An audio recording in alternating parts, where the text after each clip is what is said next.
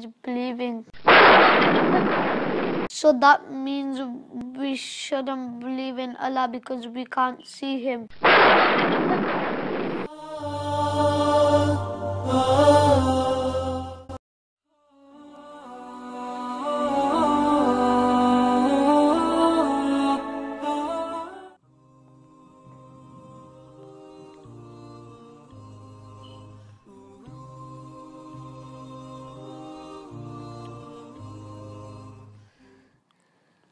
Assalamu alaikum.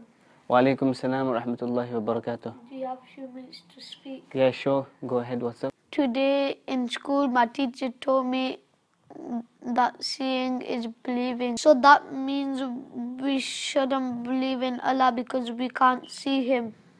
That's not true. Because there's so many things in this world that we can't see, but we still believe in them. Let me give you an example.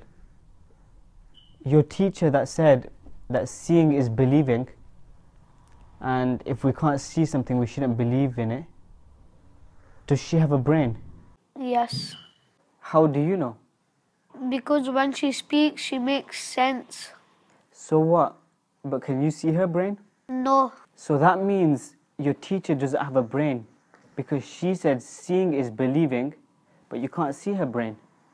That's true. We can't see the teacher's brain, but we still believe that she has a brain. So, was your teacher's statement that seeing is believing correct? No.